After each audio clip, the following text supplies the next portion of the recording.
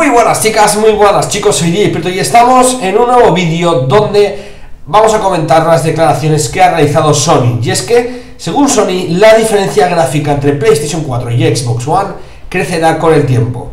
Andrew House espera que la consola venda más de 5 millones antes de abril y como os he informado esta mañana, las previsiones van bastante bien eh, en apenas días, ¿no?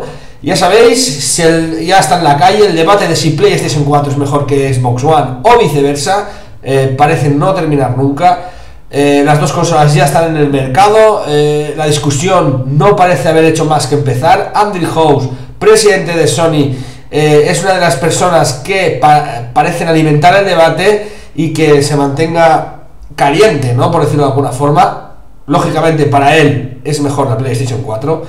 Eh, durante el lanzamiento de la consola en Londres ya señaló que en términos de potencia en lo relativo al procesamiento de gráficos PlayStation 4 es un dispositivo fantástico.